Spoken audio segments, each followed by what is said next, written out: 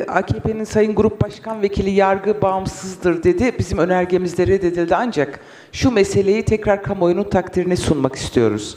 Adil Şen Yaşar 17 farklı silah mermisiyle ve 14 kesici aletle öldürüldü. Esvet Şen Yaşar 30 kesici yaralama ile öldürüldü.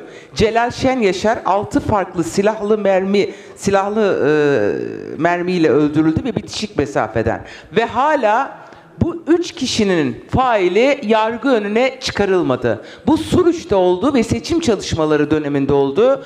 Bir aileden üç kişi öldürüldü ve bir kişi halen cezaevinde ve faillerden bir e, failler de İbrahim Halil Yıldız'ın yakınları olduğu bütün Suruç tarafından biliniyor.